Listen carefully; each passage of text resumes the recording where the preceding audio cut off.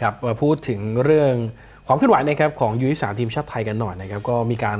รายงานตัวเรียบร้อยครับนะครับแล้วก็มีการถอนตัวของนักเตะ ที่สำคัญจะมีเกมอุ่นเครื่องกับทีมชาติฮ่องกง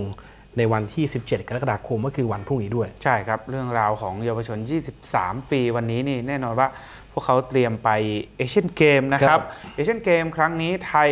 ค่อนข้างจะอยู่สายที่ไม่ง่าย นะครับมีบางประเทศที่ดูจะอ่อนที่สุดขณะที่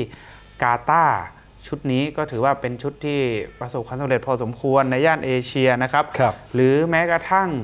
ทีมอย่างอุซเบกิสถานนะครับ ถ้าย้อนกลับไปอุซเบกิสถานเนี่ยเพิ่งคว้าแชมป์เยาวชน 23 ปีชิงแชมป์เอเชียครับชนะเวียดนามอืมนะครับคู่ปรับเราในย่านอาเซียนมาในช่วงต่อเวลาพิเศษใช่ครับนะครับ ก็ถือว่าแข็งแกร่งวันนี้มี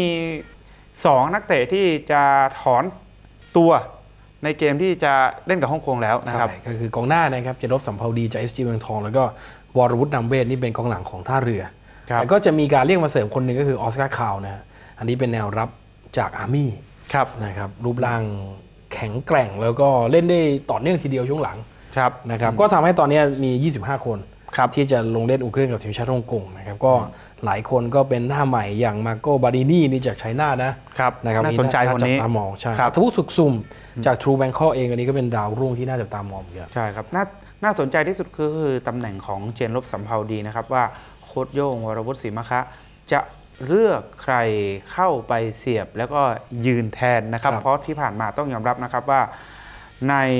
ตำแหน่งกองหน้าศูนย์หน้าตัวเป้านะครับ ตั้งแต่ทีมชาติชุดใหญ่มาเลยถ้าขาดทีละสินก็ถือว่าลำบากขณะที่ชุดรองลงมาอย่างเจนลบ